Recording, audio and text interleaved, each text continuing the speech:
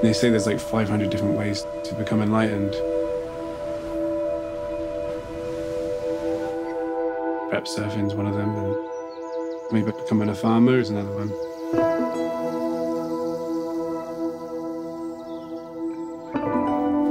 I'm actually from a gardening background. That's what my parents do, that's what I grew up doing. But that was my dream to go and chase waves and travel the world and be a professional surfer.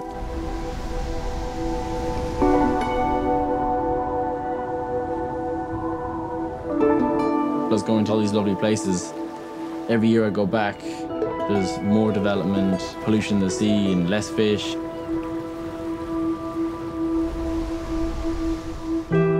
Looking at the state of the world, I start to connect the dots, and it's not nice to be a part of the problem. It's the same the world over, we all know the stories. And there's always a solution. To every problem, there's a solution. We started a CSA farm here in the west of Ireland. In essence, it means the people that come to the farm and the people that benefit from the farm, they share the risks and rewards, whether it's through food or work. To care for the earth and hopefully inspire some change. That is something that drives us every day, you know.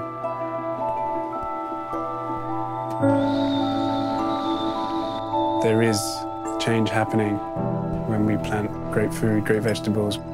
There's a change happening when we drink clean water and when we plant trees.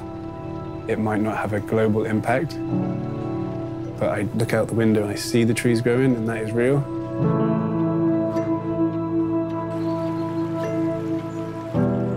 Eat the food and I feel healthier, and I drink the water and I feel better.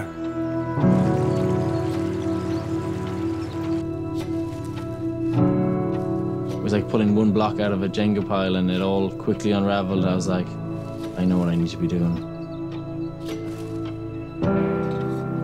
At the end of the day, it's all for the next generation. They can come and learn how food's produced, how important it is, why we don't spray our fields, or why we don't put chemicals in our water. It's a ripple effect. They're going to be the change in the world being a part of a project and a community that feel positive, that doing something good, it's a really nice place to be and live and bring your kids up.